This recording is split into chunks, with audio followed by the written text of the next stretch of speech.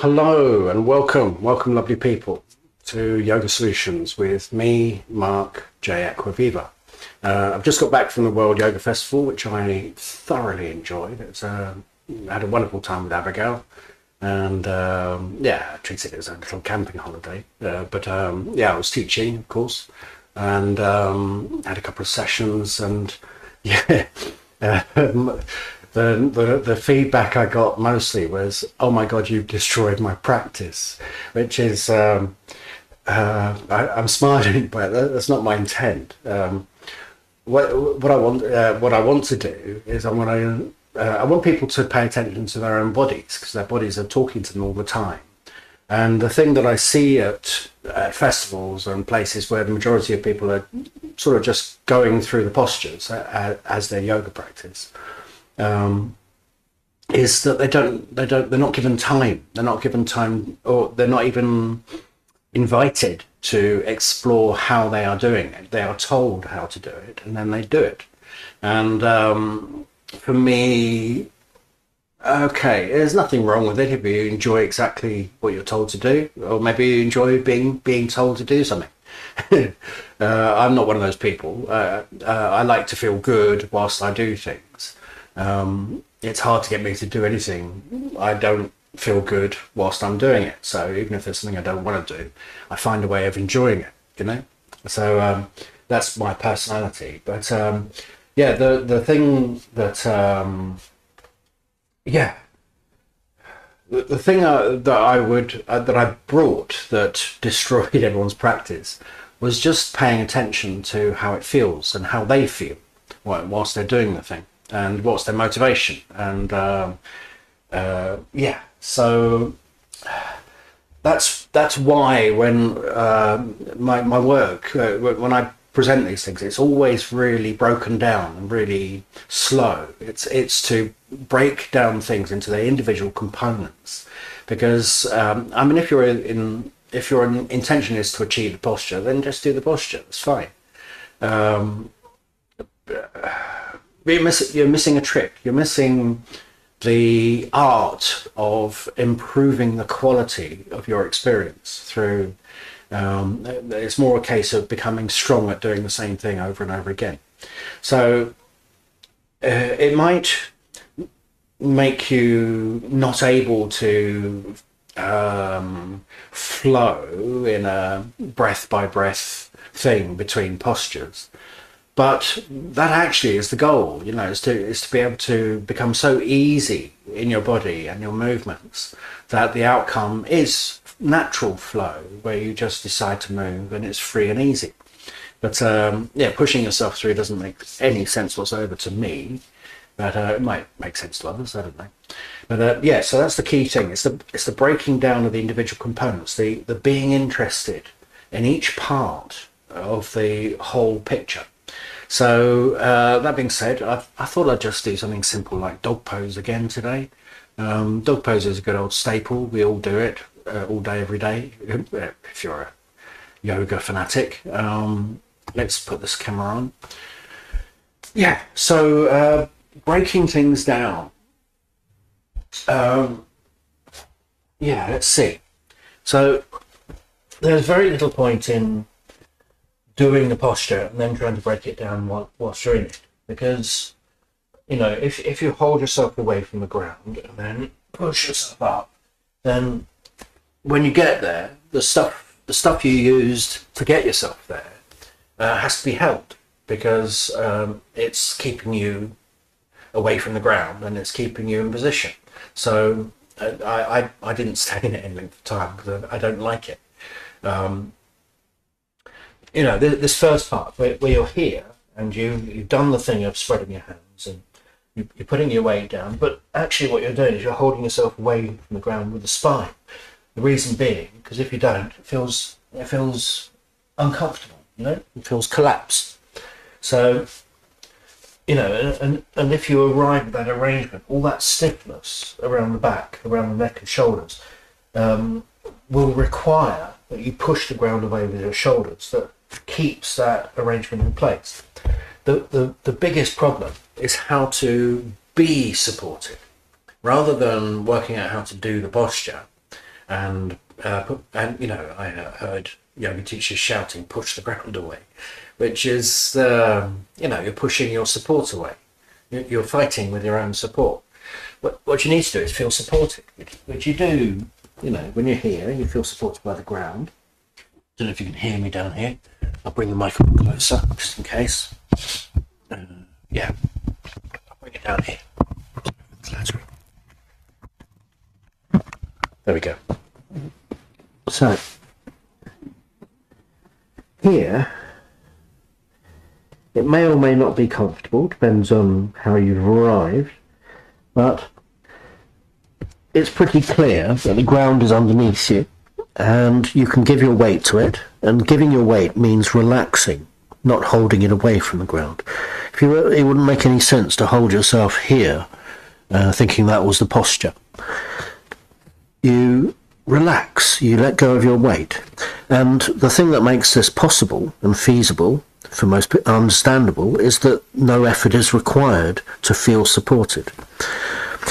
The, the key aspect is that you've let go of your weight from your spine. Your spine is no longer holding your weight away from the ground.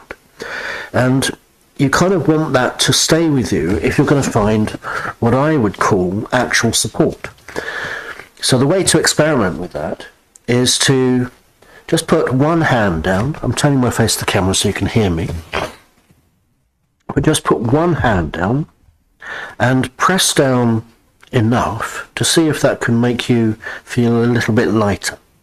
And it won't be very successful. It won't be very successful until you use your hand to send the shoulder back behind you. So a little bit of down and away from you, which is part of the posture, a little bit of down through the hand, and then away from you means you've got something to lean into. Another caveat is if you have to lock the arm to feel supported, you're not actually using your, you're not actually in relationship to the ground. You're in relationship to holding yourself at the elbow. So the effort of supporting yourself with one hand, you put the hand down, you press down uh, until your face feels a little bit lighter, and then you push away just a little bit so that your shoulder is propped back not so that you're not to push yourself away from the ground, but to send your shoulder back. And then what you get is the spine between the shoulders can lean towards the hand through the shoulder. If the shoulder's doing the pushing, it, it doesn't give you any support. So that, that arrangement of bones, that arrangement of structure, is the thing that means you can rest your weight from your spine into that hand. And the, the head doesn't have to be picked up because the head is attached to the spine. And just from the continuity of the neck from between the shoulder blades to the head means you can relax your neck without your head being unduly heavy. In fact, the down of the hand is the thing that made your face light. Just the down part makes your face light. And then the leaning into it and using it to send your shoulder back is what allows you to give the weight of the spine to the ground. Okay, that's one hand, then the other one down and a little bit away from you to put the shoulder up behind you. And then you're in a situation where you don't have to hold your head up. So see if you can check that you're not doing that. The way to find out is to let go in order to breathe. I don't mean let go of your support. You have to be supported. That's what you're trying to work out, is how to support yourself. So the way to experientially, somatically feel what it means to be supported in, in my terms, in my terminology, is to let go of your weight in order to breathe. But what you're letting go of your weight into is the thing that you're doing to support yourself, which is down through the hands and a little bit away from you. So in other words, your hands catch your weight as you breathe. The experience that follows is nothing to do with um, what the body is doing, what you're doing with your arms. It's to do with feeling supported by the arriving breath. As in, there'll be a little sort of pickup of the scruff of the neck, provided you're not lifting your head. and that's the breath supporting you away from the ground. If when you release the breath, you make sure that the weight of what you're doing is transmitted to your hands in a down and away from you feeling, when you let go of that breath, it's just an internal release. And it's a release of your weight. And because the spine between the shoulders is sitting on the hands, because the hands going down allows your face to be light, and the spine between the shoulders is the thing that drops with the release of the breath, which is the spine elongating, that roundness in the upper back, reversing slightly because you let go of tension, is the thing that causes your spine to get longer in a real way. Most people think of elongation as uh, that they mistake uh, lifting for elongation. So, if you found support from your hands in a downward way, which allows your face to become light, in a away from your way, which allows your shoulders to be propped up behind you so you can rest your weight through it, explore the feeling by letting go of your weight into what you're doing in order to breathe. That should move you in space somewhere without you having to lift, so the head will become a little bit lighter if the weight as you are is supported by your touch, as in you can let go of your weight, and you can test that by holding the breath temporarily, see if you can float, then when you let go of the breath, you just let go inside, but you let go into what you're doing, which is supporting yourself. And the outcome is the thing that we're looking for. Spine elongates. Okay? Part, that's part one. Part two is to move it onto all fours, and if you have to change what you're doing to do that, then you'll probably get lost. So I would suggest just nudging the knees towards the feet without changing the feeling of resting down through your arms now. The arms are dropping down in that direction along with the weight. So your face can feel supported by your hands and the away from you feeling allows the shoulders to be behind you so that the spine can drop through. If you've got that going on, then you can roll your weight around the hands just to see if being with your downward touch as evenly as possible as you move, it'll be your legs doing the moving, as evenly as possible so the, the touch remains constant, then you have the option to be over your hands as you breathe, and then over your feet as you release the breath. So you get an experience of not having to push the ground away. It's simply rolling your weight, which is sitting on the hands, so that it can come off the knees and onto the feet as well.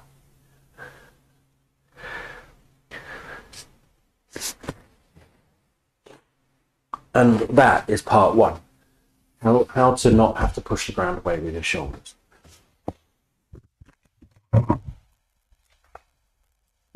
I shall um, do part two in a moment for to, uh, for the complete version of this um, yoga solutions, but that gives you an idea, uh, and you can go through the same process with your legs. Uh, you know, how do your knees support you? You know, have you got a relationship to the ground through the knees, or are you just heavy? You know, are you just plonking your weight there, or are you involved with your support? Tips of the toes. You're going to transfer the weight to the feet so you want your feet, uh, the front end of the feet, which is your active kind of proprioceptive part of your touch with your feet.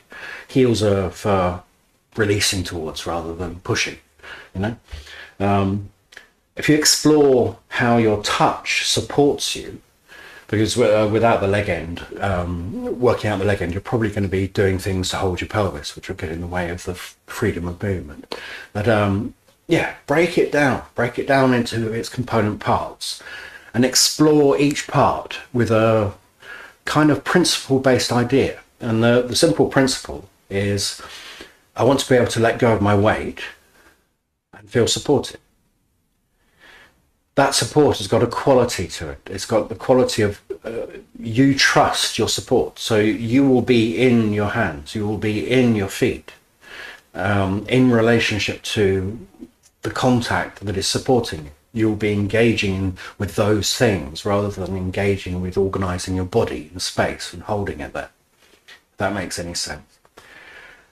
Of course, it, you know, it's, it slows dog pose right down. But when, if you just follow that, I'm guessing if you come up and, and you're sitting or something now, I'm guessing your neck and shoulders feel pretty good. Your upper body should feel pretty good with that. Okay? And that's that's what I do yoga for. It's it's not to get strong at doing dog pose or any other posture. It's to use the postures as a framework to explore how I interact with the world and finding principle based uh, looking for principle based outcomes. I want to feel supported. I don't want to have to hold myself anywhere. I want to let go and be free to be where I wish to be. Okay, uh, that, that's my intention. If your intention is to build up muscles, then that's different.